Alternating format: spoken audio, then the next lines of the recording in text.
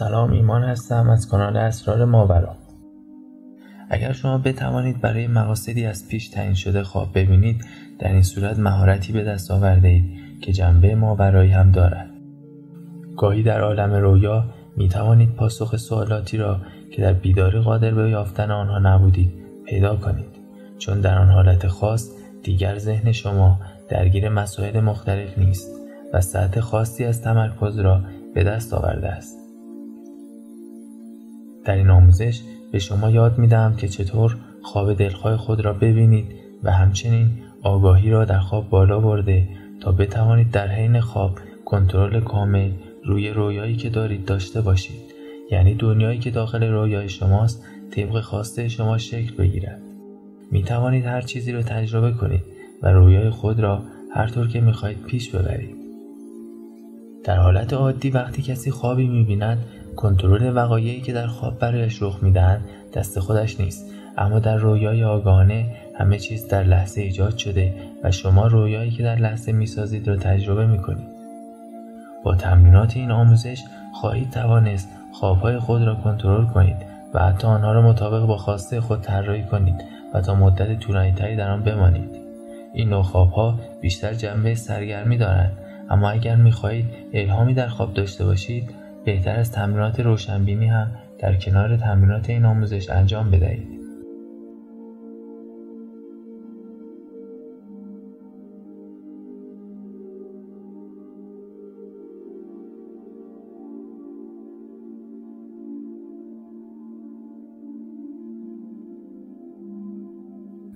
خواب دیدن ارتباط زیادی با تحریک احساسات شما دارد یعنی هر چقدر احساسات شما بیشتر تحریک شوند رویاهای خاصتر و بیشتری می‌بینید. احتمالا متوجه شده اید وقتی یک اتفاق باعث می شود از نظر روحی به هم بریزید در آن هنگام رویاهایتان بیشتر می شود رویاهایی که ما می بینیم با روان یا ناخودآگاه ما در ارتباط هستند. همچنین اطلاعاتی که در مغز ما ذخیره شدهاند بر نوع خوابی که می بینیم تاثیر می‌گذارند.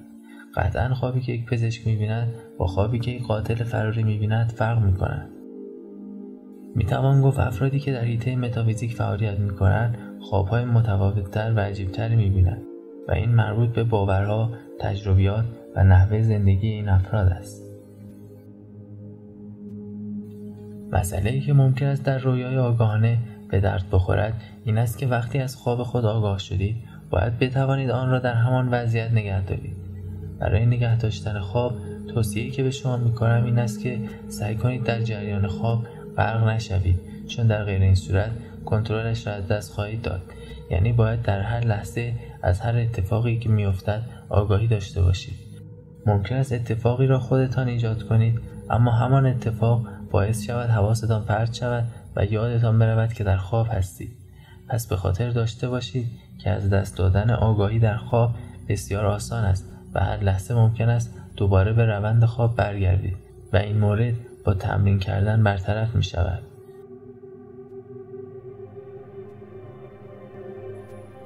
زمانی که شما می‌فهمید خواب دارید می‌بینید و داخل یک رویا هستید دیگه از اون لحظه به بعد همه چیز تحت کنترل شما قرار می‌گیره یعنی اگر شما به عنوان مثال در یک بیابون هستید و دارید از تشنگی تلف میشید اگر بفهمید که دارید خواب می‌بینید خیلی راحت می‌تونید که اینطور اراده کنید که الان در یک جنگل هستید و وارد جنگل میشید یا احساس کنید داخل خونتون هستید و بعد می‌بینید که داخل خونتون هست روی آگاهانه پس به این شکل است. یعنی که شما با روش هایی مطلع بشید که دارید خواب ببینید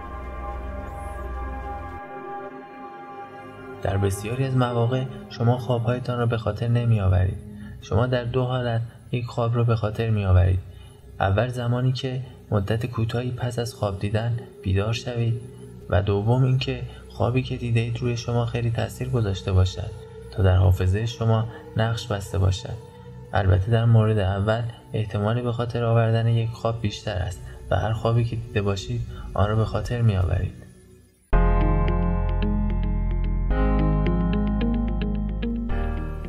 حالا به سراغ آموزش می رویم. تمرین اول. یک شی به خصوص باید انتخاب کنید. منظور از شی به خصوص این است که این شی نباید زیاد معمول و در دسترس باشد. البته نیازی نیست کمیاب و گران قیمت باشد. به طور کلی باید چیزی را انتخاب کنید که در خواب احتمال دیدن آن وجود نداشته باشد. و طوری باشد که اگر در خواب آن را دیدید فورا بشناسید و به خاطر بیاورید. مانند یک کتاب خاص یا چیزی که آرزو داشتید داشته باشید و نداشته اید. چیزی که شما بارها استفاده کرده اید و در حافظه شما ثبت شده احتمال اینکه در رویاهایتان هم اتفاق بیفتد و تکرار شود زیاد است و زمانی که آن را در رویای خود ببینید برایتان عادی است.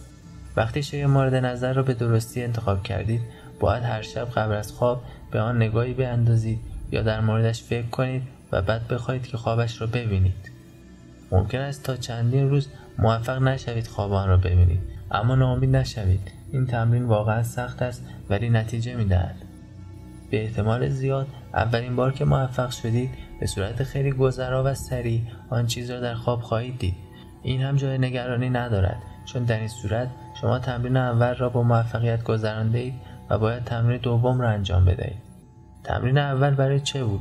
این تمرین برای این انجام می شود که وقتی شما آن شی را در خواب ببینید یاد این موضوع میافتید که هر شب سعی داشتید خواب آن را ببینید و اینکه می‌خواستید خواب آن را ببینید باعث می شود که در خواب آگاه شوید و بفهمید که در حال خواب دیدن هستید. همش توهمه. همش توهمه. تجربه جالب از خودم را برایتان بازگو می کنم من اکثر اوقات خواب می بینم که در بین جمعیت مخصوصا در خیابان پرواز می کنم و از بین ماشین ها و مردم عبور می کنم و گاهی مردم به من نگاه می کنند و گاهی هم هیچ کس به من نگاه نمی کند و توجهی نمی کند من تعجب می کنم که چرا برای مردم مهم نیست که کسی دارد در بین آنها پرواز می کند. این کار را در خواب به آسانی انجام می دهم و این کار آنقدر تکرار شد تا اینکه یک بار در خواب وقتی که پرواز می کردم یکو فهمیدم که دارم خواب می بینم و به یادم آمد که من همیشه این خواب را می بینم و چون در حال خواب دیدن هستم کسی از پرواز من تعجب نمی کند. فورا به دوستانم که در خوابم بودن گفتم ما در حال خواب دیدن هستیم. ولی آنها باور نکردند و گفتن نه تو همیشه می توانی پرواز کنی. با آنها گفتم باور کنید ما خواب هستیم و برای اینکه مطمئن شویم بیایید به یک رستوران برویم و هرچه می‌خواهیم بخوریم. چون این یک رویاست و لازم نیست پول هم بدهید. همین کار هم کردیم. و بعد آنها حرفم را قبول کردند. از این خاطر نتیجه می‌گیریم که اگر مدام به خودمان یادآور شویم که اگر فلان اتفاق در خواب افتاد ما خواب هستیم آن وقت اگر آن اتفاق بیفتد متوجه شده که در حال خواب دیدن هستیم و آگاه می‌شویم و کنترل خوابمان به دستمان میافتد. این روش هنوز هم برای من جواب می‌دهد و وقتی من در خواب پرواز می‌کنم فورا اولین چیزی که چک می‌کنم این است که آیا دارم خواب می‌بینم یا واقعی است. راهکاری برای خواب دیدن. وقتی می‌خواهید خواب خاصی ببینید بهترین کار این است که قبل از آن اعلام کنید که چه خوابی می‌خواهید ببینید. این روش در حین سادگی بسیار موثر است. اگر آن را ذهنی نگویید و یا بنویسید تاثیرش بیشتر است. یک روش دیگر برای کسانی که در رویا دیدن مشکل دارند و رویا نمی‌بینند این است که تایم خوابشان را تغییر بدهند. همچنین همانطور که گفتم سعی کنید با روشهایی احساسات خود را تحریک کنید تا خواب دیدن شما بیشتر شود.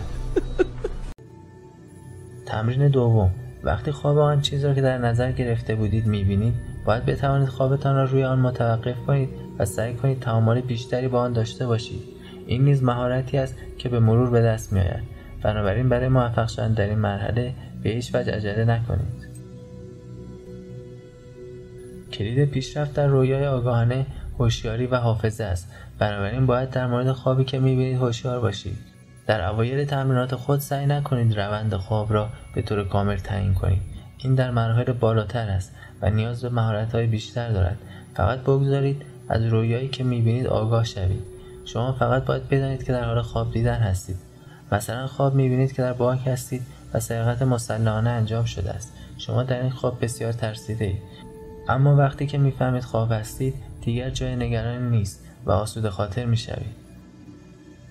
زمانی که بتوانید از خوابی که می‌بینید آگاه شوید و توجهتان را نسبت به یک شی نگه دارید در این صورت با موفقیت مرحله اول را گذرانده اید. من معمولا هفته یک بار یک رویای آگاهانه دارم. گاهی موضوع آن را خودم انتخاب می‌کنم و گاهی هم اجازه میدم تا در یک جریان عجیب خواب قرار بگیرم و سپس از آن آگاه شوم. این نوع رویاها تفاوت بسیاری با خوابهای معمولی دارند و می توان آنها را منحصر به فرد و خاص در نظر گرفت. بدون شک دستکاری در روند خواب دیدن و کسب مهارت رویابینی تجربه بسیار لذت بخش است. مرحله دوم رویابینی گذر از یک رویا به رویای دیگر است بدون اینکه بیدار شوید و یا آگاهی خود را از دست بدهید. شاید این مرحله بسیار مشکل به نظر برسد اما وقتی مرحله اول را با موفقیت پشت سر بگذارید این مرحله را هم می توانید پشت سر بگذارید. در واقع مثلا شما در شهر بازی هستید و متوجه می شوید که خواب هستید. سپس تصمیم می گیرید از فرصت استفاده کرده و مثلا به برج ایفل بروید. این اتفاق می افتد اما در آنجا احتمال اینکه فراموش کنید همه چیز خواب است بسیار زیاد است. باید تمرین کنید که وقتی از یک خواب به خواب دیگر سویچ می شوید آگاهی خود را از دست ندهید.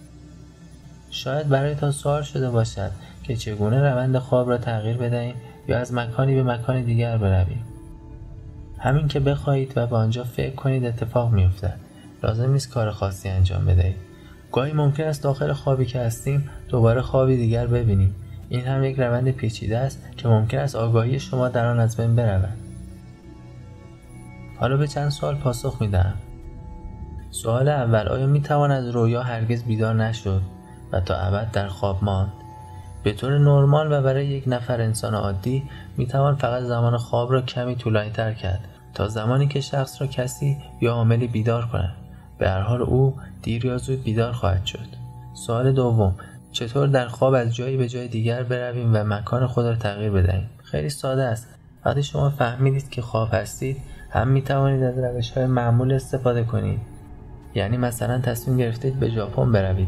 می توانید به فرودگاه رفته و سوار هواپیما بشوید. همین که می توانید از راه جادویی استفاده کنید. یعنی مثلا با خودتان بگویید از این درک عبور می کنم آن طرف ژاپن است. یا مثلا تا سه میشمارم و بعد در ژاپن ظاهر می شود در واقع چون در خواب محدودیتی نیست همه اینها اتفاق می افتد. سوال سوم چقدر زمان می‌برد تا در رویابینی به مهارت لازم برسیم؟ نمی‌توان زمان دقیقی تعیین کرد. میزان آگاهی افراد در خواب متفاوت است. بعضی ها با مرز آگاه شدن در خواب فاصله زیادی دارند و برخی خیلی کم. همچنین بستگی به قدرت حافظه شما دارد که نشانه ای که انتخاب می کنید چقدر طول می کشد تا در خواب آن را به خاطر بیاورید.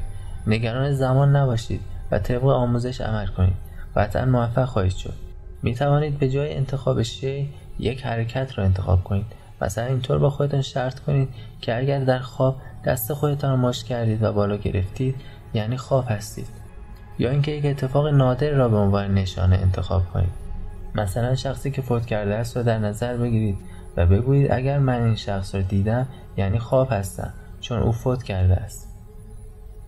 در هر صورت باید نشانه که انتخاب می کنید با خودتان تکرار کنید مخصوصا قبل از خواب. تا اگر در خواب اتفاق افتاد به خاطر بیاورید که خواب هستید. از آن پس شما بر روند خواب آگاه می شوید و می توانید مطابق با میل خود خوابتان را پیش ببرید. آنچه گفتم در مورد کنترل خواب یا رویابینی آگاهانه بود که بیشتر جنبه سرگرمی دارد. اما چطور رویاهای خاص و مهم به صورت هدفمند ببینیم؟ مثلا پاسخ سوالی که نمی‌دانیم را در خواب پیدا کنیم. من هر دو این آموزش ها را با هم در یک ویدیو در نظر گرفتم چون معتقدم روی هم تاثیر می‌گذارند اگر شما در رویای آگاهانه طبق قسمت اول ویدیو مهارت پیدا کنید در رویای هدفمند هم مهارت پیدا می‌کنید. تفاوت مورد دوم در این است که شما فقط روی آنچه می‌خواهید رویش را ببینید تمرکز و توجه می‌کنید. هرچقدر شما در متمرکز کردن ذهن مهارت بیشتری داشته باشید احتمال موفقیت شما در این زمینه بیشتر است. سعی کنید حداقل تا نیم ساعت قبل از خواب فکرهای مختلف را از ذهن خود دور کنید و خود را ریلکس کنید.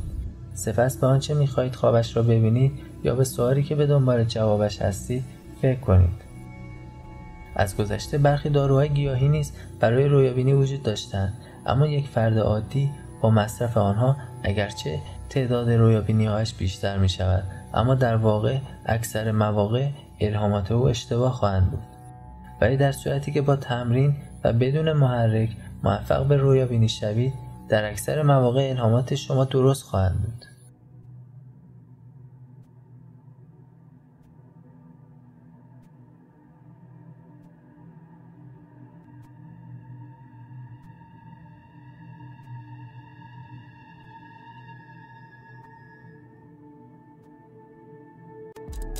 هر سوالی که دارید در کانال یوتیوب اسرار ماورا بپرسید.